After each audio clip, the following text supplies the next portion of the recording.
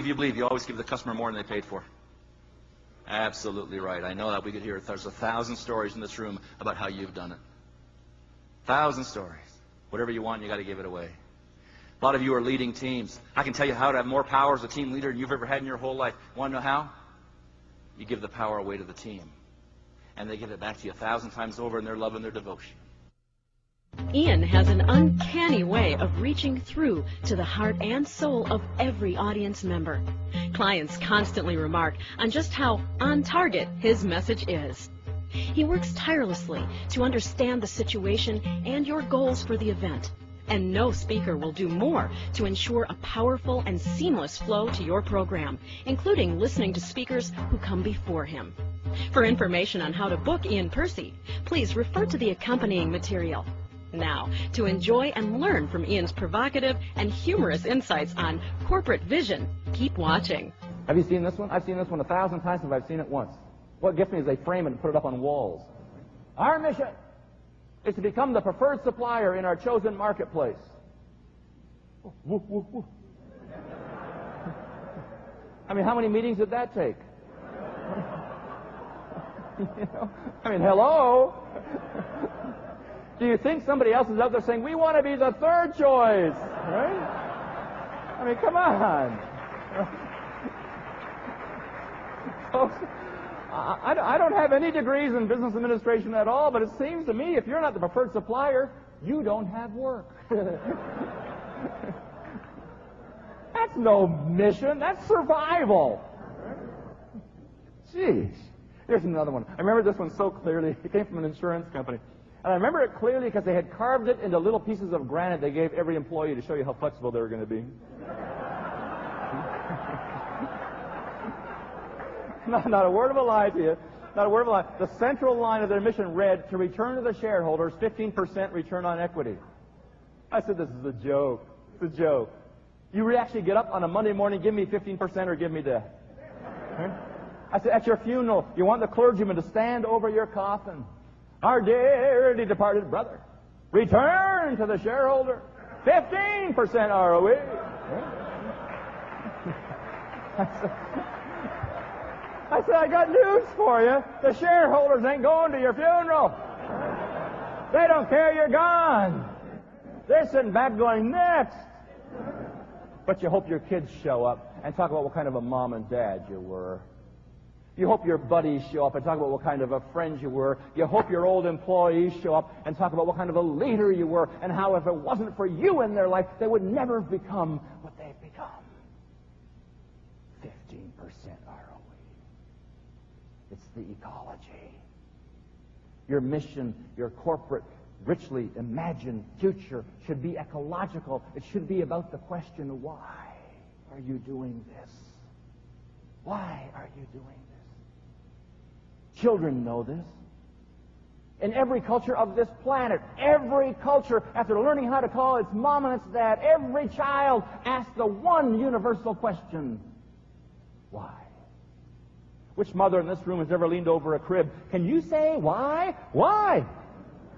No, it drives us nuts. Right? We usually wrap it all up by saying, because I said so. Oh, thank you for clarifying. Right? Children are born asking the most spiritual question in the universe, and we beat that of them by grade three. Why? Why are you doing this? Why this policy? Why this procedure? Why this approach? Why are we here? What's the why of our lives? It's got to be ecological. What if you walked into your doctor's office and you saw this?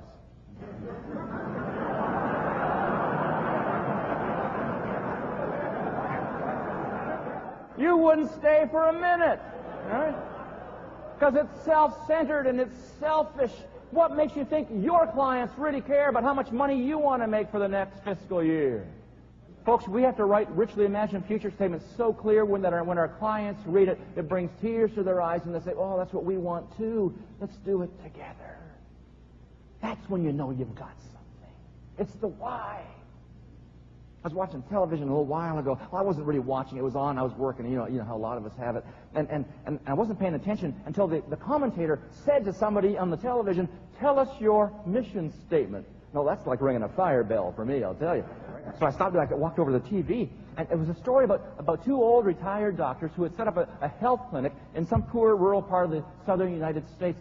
And, and, and this guy said, tell us your mission statement. And this old guy, long white hair, you could see the tears coming into his eyes.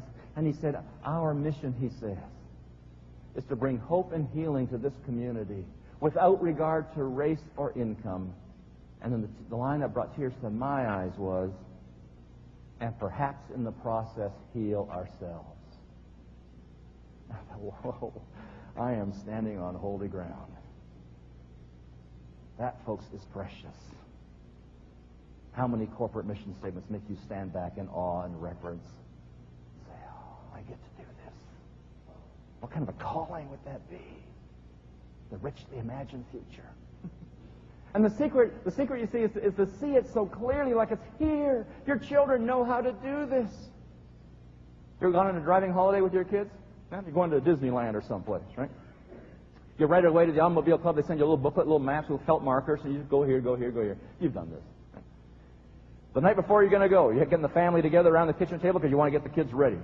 You lay out some rules. Now, first of all, take every toy you own. Right?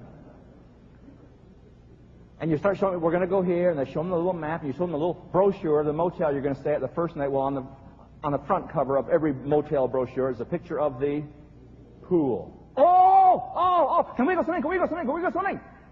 Do we join in their excitement as parents? No. What do we do? Oh, we'll have to wait and see.